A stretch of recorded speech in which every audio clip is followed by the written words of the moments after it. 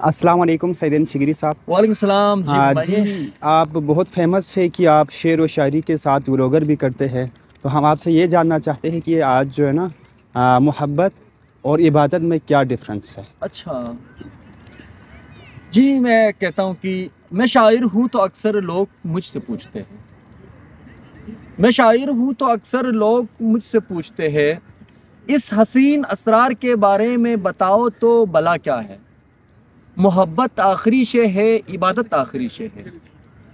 शिगरी में सबको कहता शिगरी में सबको कहता हूँ, किसी प्यासे को अपने हिस्से का पानी पिलाना भी मोहब्बत है, इबादत है। बनोर में डूबते को साहिलों तक लेके जाना भी मोहब्बत है, इबादत है।